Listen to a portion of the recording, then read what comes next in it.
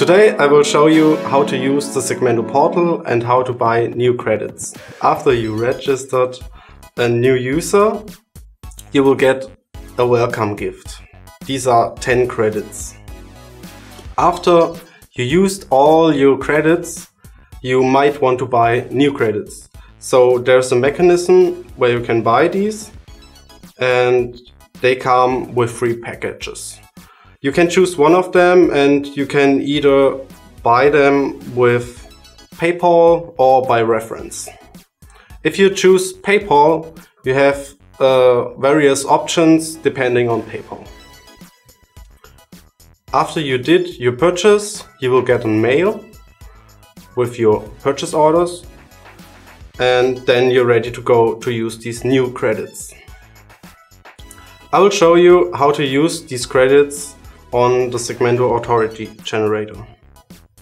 First of all, I want to show you a successful role generation and after that I want to show you a role generation which is failing.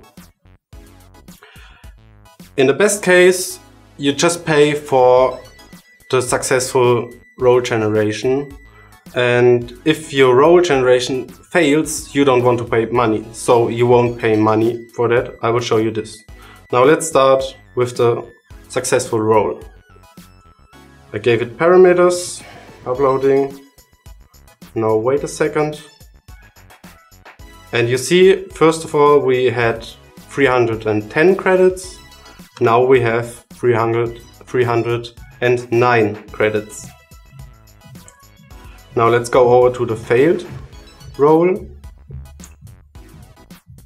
We are giving some wrong parameters. It should fail now. And now we see error occurred. And we don't, uh, we couldn't generate the role, so we don't pay money or credits in our case.